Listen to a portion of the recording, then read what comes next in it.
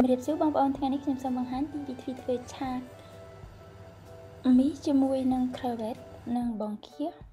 មានគ្រឿងផ្សំដូចតទៅ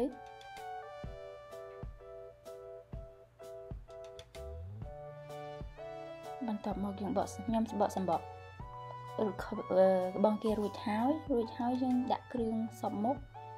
និងប្រដាក់ទុកឲ្យចូលជាតិសិនយើងទុកមួយឡែក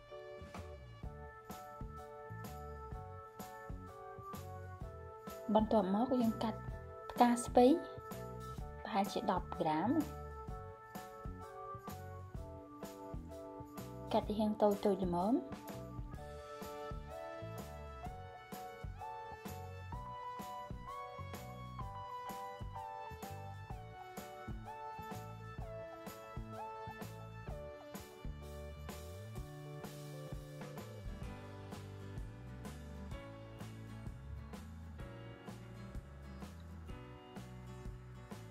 បន្ទាប់មកយើងយកទៅស្រុះ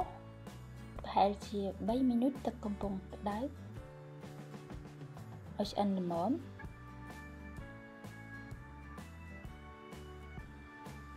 រួចយើងចាក់ទឹកចេញនិងដាក់ទឹកត្រជាក់ចូលដើម្បីផ្កាស្ពៃនៅតែពណ៌បៃតងល្អ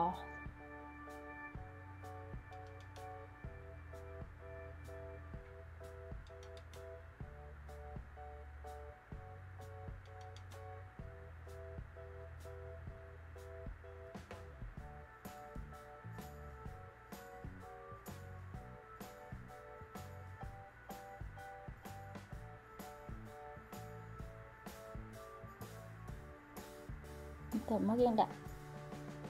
មីស្រូបយើងច្បល់វាឲ្យរហូតកុំឲ្យជាប់បាតប្រហែលជា3ឬ4មីនិត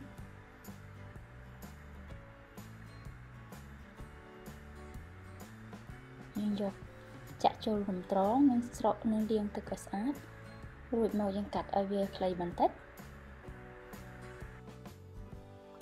រួចបន្ទាប់មកយើងយកទឹកស៊ីអ៊ីវប្រឡាក់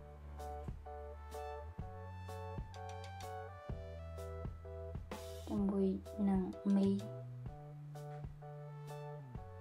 ឲ្យចូលជាតិត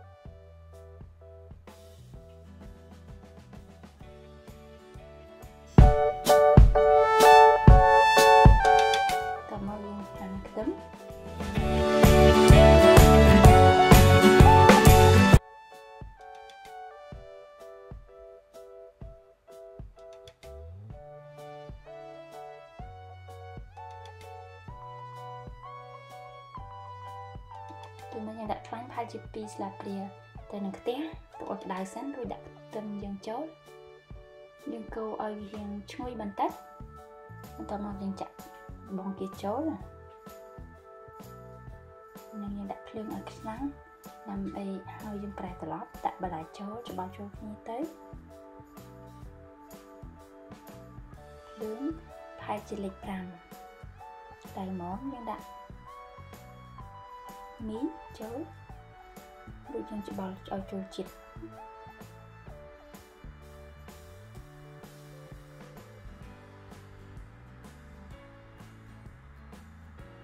បន្ទាប់មក